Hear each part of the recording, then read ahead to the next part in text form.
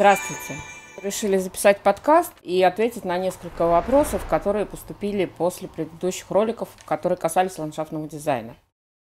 Первый вопрос, на который я хочу ответить, звучал так. Из какого материала и какой ширины лучше всего делать дорожки в саду в местах с высокой нагрузкой? На самом деле вопрос э, совершенно не праздный, потому что когда мы попадаем в сад, э, который уже был сделан до нас, его делали э, сами собственники этого участка, обычно с дорожками там есть ряд моментов, которые повторяются из сада в сад. Во-первых, они действительно очень узкие, их расположение довольно часто вызывает массу вопросов. Вопрос касаемо ширины. Да? Значит, если мы с вами говорим о участках с высокой загрузкой, это обычно от парковки до главного крыльца жилого дома. Да. Второе – это от жилого дома до бани. И третье – это от жилого дома до сада-огорода. То есть туда, э, куда бегает хозяйка чаще всего. Или ходят хозяева с гостями чаще всего. Значит, э, ширина этих дорожек должна быть минимум 90 сантиметров, если вы хотите, чтобы по ней свободно шел один человек, метр двадцать, если вы хотите, чтобы шло два человека. То есть 40 сантиметров – это просто тропиночка, это, конечно, не дорожка.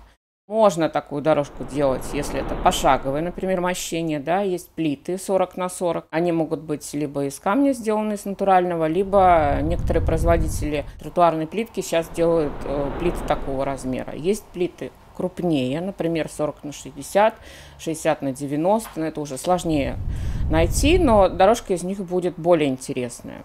Значит, и по цвету, скорее всего, лучше всего э, самый такой стандартный цвет и самый э, бюджетный – это серый. Он подойдет к любому совершенно участку, к любому дому. Он впишется идеально совершенно к любому озеленению и будет смотреться очень нейтрально. Такое впечатление будет, как будто тут он лежал всегда давным-давно.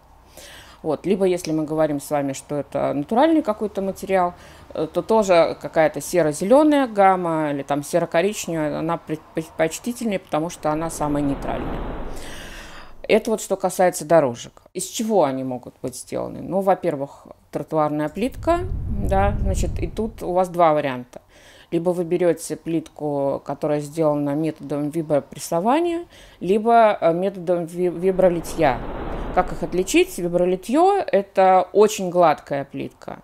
Там по технологии довольно жидкий раствор, который заливается формой и там застывает.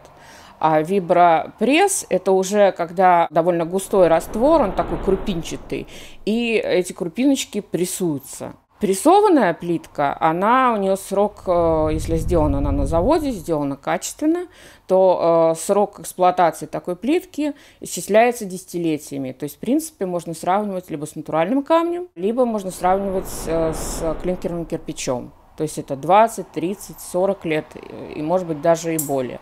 Если литье, то тут э, два отрицательных момента. Первый из них – это то, что э, уже через несколько лет она начнет э, постепенно отслаиваться, крошиться, то есть она начнет портиться. И второй момент, который очень важен, это то, что за счет того, что она очень гладкая – то а, когда у нас начинаются температурные скачки через ноль, да, и э, наледь образуется, она безумно скользкая. Этот момент очень важен, особенно если мы говорим о том, что там вы приехали, поставили машину на парковку и пошли до дома, да, вы можете просто э, упасть, не дойдя до крыльца жилого дома настолько она скользкая.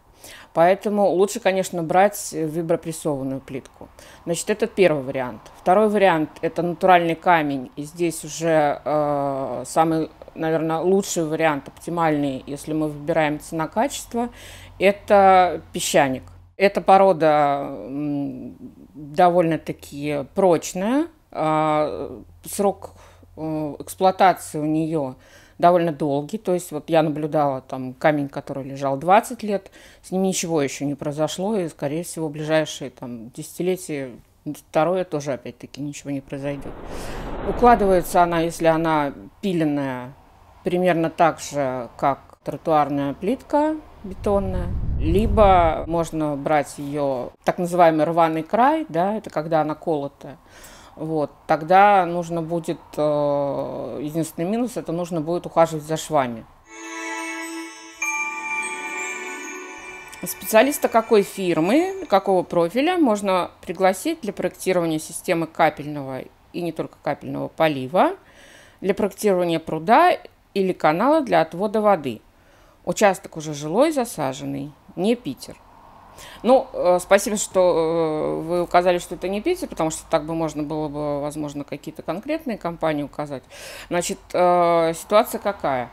А, значит, для того, чтобы сделать грамотную систему полива, нужно пригласить специалистов компании, которые занимаются именно автоматическим поливом. Вот. Но тут такой момент, что ты э, дашь тех задания там, пяти специалистам, и они все пятеро сделают, скорее всего, разные проекты. Поэтому так и надо поступить. То есть вы найдете несколько компаний местных, которые занимаются, предоставляют такую услугу, э, составите для них тех задания, и посмотрите потом, что они вам предложили, и спросите у них, почему предложили именно такой вариант – тогда уже вы можете принимать решение, кому это доверить. Значит, естественно, эту услугу, если она совсем небольшая, да, там, если вам нужно капельный полив сделать э, на какой-то определенной клумбе или в парнике, э, либо вы э, купите, просто есть такие отдельные небольшие системы, которые продаются именно для локального полива, да, вот, либо просто вы доверите знакомому сантехнику. В принципе, такие варианты тоже возможны, но обычно, конечно, специалисты, которые именно на автоматическом поливе специализируются, они э, сделают это, скорее всего, более оптимально.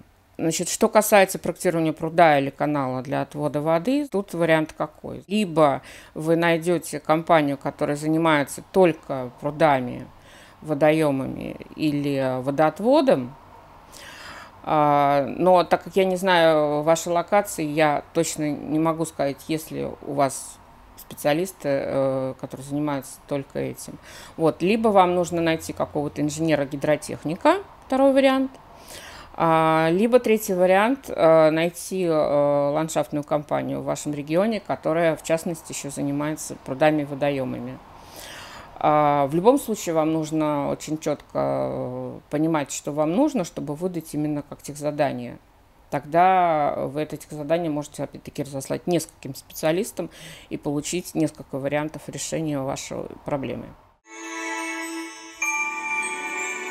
Следующий вопрос был, значит, в чем принципиальное отличие ландшафтного дизайна дачи от ландшафтного дизайна хутора, и как обустроить огромное количество земли вокруг построек, не превращая все в газон. Значит, ну, тут в данном случае непонятно, что вы имеете в виду, э, когда называете э, свое, э, свой участок хутором, да, целевое назначение его. То есть, есть ли у вас там какое-то обособленное сельхозхозяйство, либо его нет. Либо это просто большой участок земли, отдельно стоящий, где у вас там большая дача. В любом случае вам нужно определить все структуры, то, ну, касается, в принципе, и дачного участка, да, вам нужно определить все структуры, которые вам нужны будут на участке, и принять решение, какие из них вам нужны ближе к жилому дому, а какие-то дальше. Вот это принципиальный момент, да, потому что, возможно, там будет еще какое-то второе, третье здание, которое нужно подключить к водоснабжению, канализации, а это у вас рядом с домом, соответственно. А что касается обустройства, скорее всего, что вопрос имел отношение именно к озеленению, да, то в любом случае первое – это очистить все от мусора.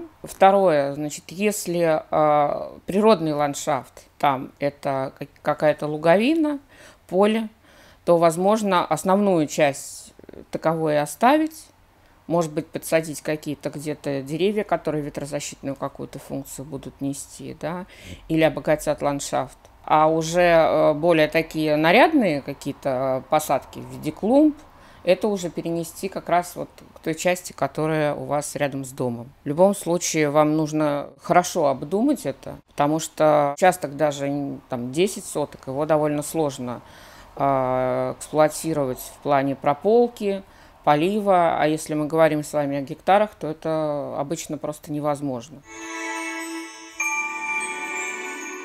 Следующий вопрос у нас шел по поводу э, забора и ветра. На самом деле вопрос э, очень интересный и правильный, мало кто об этом знает. Э, все, кто ставит э, забор, забор из металлопрофиля, и если у них участок находится в ветреных местах, рано или поздно сталкиваются с тем, что поставив такой сплошной забор, они усиливают ветерный участок. И это происходит потому, что ветровые потоки, которые сталкиваются с забором, перескакивают просто поверху этот забор, Получается, что в какой-то, там, через какой-то промежуток, там, через несколько метров после забора происходит просто турбулентный удар. То есть вы можете э, загорать на газоне, и ветер на вас будет не сбоку идти, а сбоку и сверху. Поэтому, э, чтобы защитить свой участок от ветра, нужно наоборот забор делать э, не сплошной, а разряженный. То есть это либо какой-то штакетник, не сплошной, либо какая-то сетка, либо изгородь. Но изгородь довольно, опять-таки, э, зеленая изгородь, довольно-таки разряженная. Таким методом, если мы с вами будем огораживаться от ветра, мы действительно огородимся от него.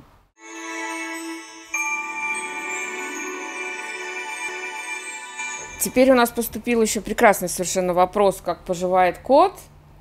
Ну, кот прекрасно поживает, он себя замечательно чувствует, передает вам всем привет, надеется на скорую встречу пока ждет снег, пока еще не дождался. И последний вопрос, значит, почему э, нельзя сажать э, семечковые вместе с косточками? Касалось дела плодового сада, я так понимаю. На самом деле сажать их, конечно, можно, более того, все это делают какое уже десятилетие подряд. Э, просто в силу того, что у нас настолько небольшие участки, что отделить семечковое от косточковое еще, наверное, никому не удавалось. Сажайте, и будет все хорошо. Спасибо вам за ваши вопросы. Задавайте еще, я с радостью отвечу. До свидания.